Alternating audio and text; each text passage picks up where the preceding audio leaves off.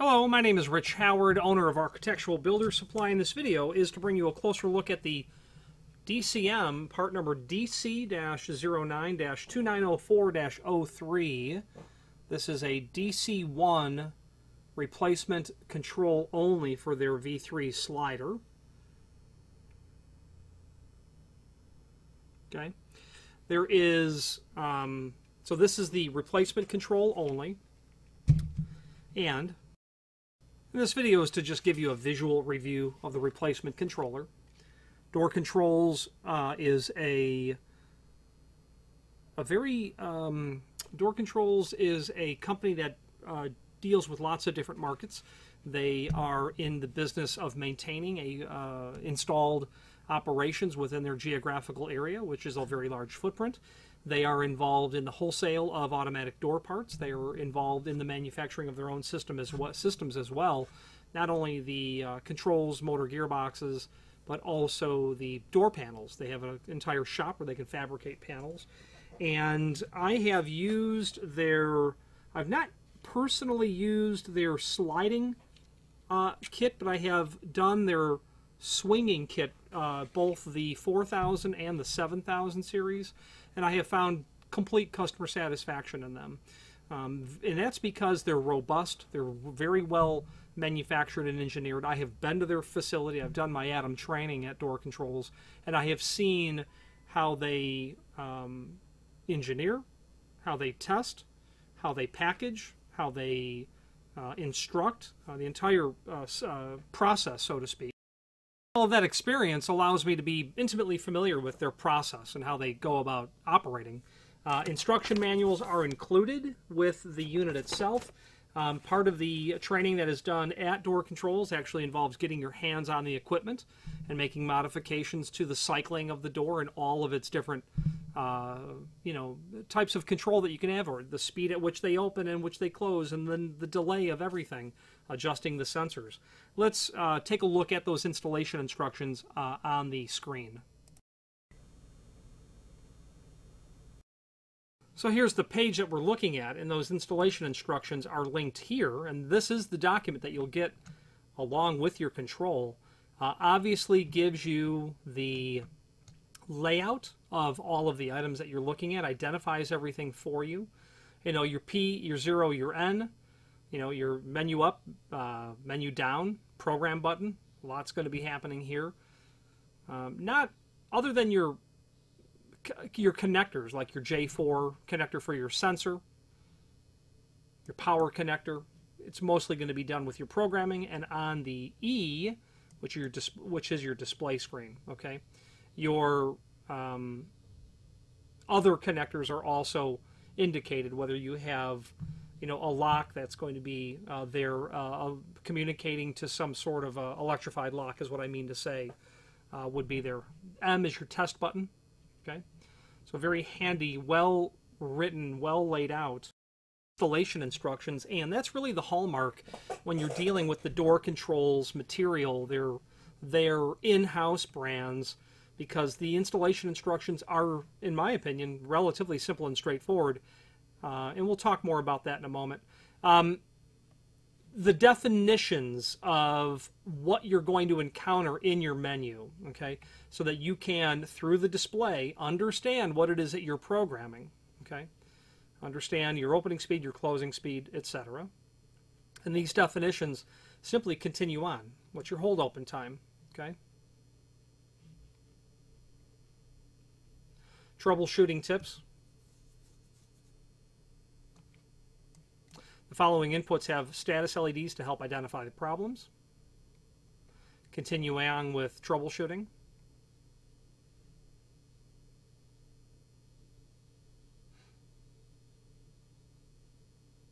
Wiring diagram, so to speak, if you're connecting uh, position switch wiring, depending on what you're connecting. And that wraps that up. Okay. Let's finish up this video on the screen uh, and talk just a moment about uh, Door Control's technical support and the other products that they offer. So one easy way to be able to familiarize yourself with the other items that they are um, making in terms of systems, You've got your DC1 sliding door retrofit. You've got your DC 4000 and your DC 7000. Now, I've sold both of the 4000 and 7000. Again, complete customer satisfaction. So when you click on each of these, they've got a little video of them going over the installation instructions. Absolutely. It's just here. And the installation instructions will be written in the same format as their slider. Simple and straightforward. Uh, they give you instances of wiring diagrams in the back so you know you know what you're wiring into where you're wiring it. An electric strike would be very common. Okay. If you're going to install a wall switch, okay, how are you going to power that? Well, it's it's here in the manual, along with their uh, their 7000. So they have heavy duty and low energy. The only difference between these two is that heavy duty will have sensors involved. Low energy does not have sensors. Uh, it would have wall plates. Low energy would be very typically used. And the point is, as soon as you get sensors involved, it's no longer low energy. It becomes heavy duty or high energy. Um, low energy, you're obviously going to be using on those openings that do not require sensors. An, active, um, an application for that, of course, would be a exterior door on a public building that would require occasional access, or a bathroom in a restaurant would require um, wall plate sort of application for handicap compliance. Um, there's a restaurant in, in town that we frequent that has an operator on it, and it's push uh, regular manual closer, but if it's needing to be used by the handicap, the wall plates are there on both sides of the opening. The DC1 sliding retrofit door kit is, um, and this, of course, we're dealing with the controller. The point of this is they will get into being able to take your old system, whatever it is, and sell you the new parts to convert it to a DC1. And as a re- and what happens on not only the slider but the swingers is that there is an order form that needs to be filled out so they understand how to package the parts. The way that they explain it is that they have all of the individual pieces, the belts, the pulleys, the hangers, the rollers, whatever it is, for each of the different types of applications, but they have to know what is being done in order to fulfill the order correctly. And that also goes for their their swinging material as well. There's an order form, and the order form it's a bit cantankerous, but the bottom line is it doesn't let you forget anything. Okay? What do you need? What is the hand? Okay? Do you need any of this, you know, wireless or wired activation plates at all? Do you need any harnesses, any wiring harnesses? And the nice thing about their wiring harnesses is that they already have the connectors and you don't have to make your own. So if you know that you're doing wireless switches, you're going to need to be able to plug in the radio receiver to it, the, the, the, the wireless receiver. If you know that you're doing a magnetic lock or an electric strike, it's right here. That's the connector for the wire wiring harness with the connectors for that. Okay, let's finish up this video on the screen, on, on the on the camera, I should say. Now, the reason I think you should take a long, good, hard look at door controls is the products are good. I've been to their facility. I see how they rigorously test the material. They have literally a room that is easily 2,000 square feet or three 5,000. I don't know. It's it's huge, and they have all of these this structure with frames attached and doors and just cycling, 24/7 cycling. They literally take weights that you would see in the health club and they hang them on the doors to emulate. Okay. Um, the gentleman who is in charge of, of instruction at door controls is a complete expert when it comes to the subject matter. What you will appreciate the most is not only, I believe, the simple and straightforward installation instructions, but the quality of the testing and engineering behind the line. But if you get into a corner, they encourage you pick that phone up and call them. There are people there who know nothing in life. They do, of course but are they know nothing in life but automatic doors, and they are exceptional at it. There is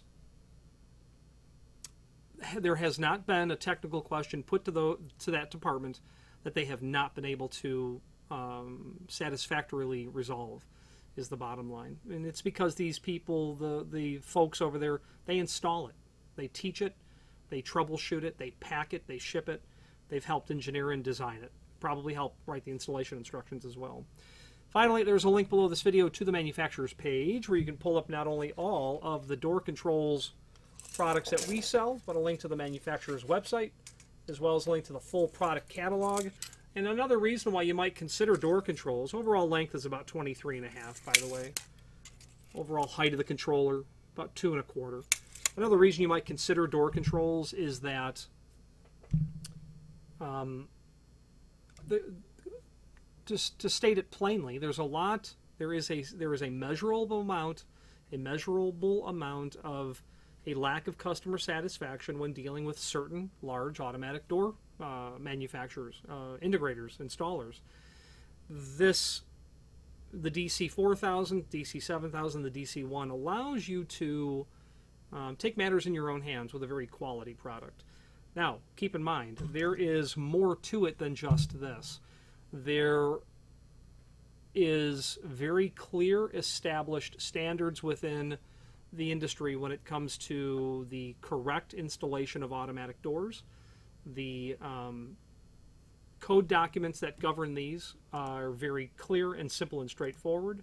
I would not encourage you at all to do this sort of work if you do not possess the um, skill set experience, let's say, to um, to properly uh, handle uh, install uh, automatic door work. There are ANSI standards uh, that go along with this. The A156.10.19.27.41. Those documents govern automatic doors, revolving doors, low energy, high energy. And while it's not mandatory by code that automatic doors uh, are installed by people who carry an AAADM, of which there are at least there are three of us here in the company now that are ADAM certified. It, it's not written in code that you must be ADAM certified to install the material. It is code that they're inspected annually. Uh, all automatic doors, and that records and log uh, record keeping and logs be kept of all of that. Uh, the building owner is responsible for maintaining that. Um, there are a lot of there's a lot of liability when it comes to automatic doors. Um, so you want to dive into doing that work when you are fully immersed into it. I have very, very large national, global hotel chains that do their own work on keeping their doors up and running. And about every two years, we send them a good, a fistful of, of parts and controllers. Um, and then there's people who own a convenience store, a convenience uh, shop. Um, and I you know, I question if that's really, really smart when it might be smart to just have someone on call that will be able to handle the work. So you'll want to dive into it when it makes sense for you, your company, and your short and long term goals. But I can tell you this the DC1 is a product that I have sold, um, and that the there is, as I've said, there's, there's no customer dissatisfaction that I'm aware of on the product line at all. People usually mechanically slap it up, plug it in, and oh my gosh, it works. Okay, that's anticlimactic, and that's usually how that goes. Any questions on the DC1 controller or any other door controls product, please feel free to reach out to us. And thank you.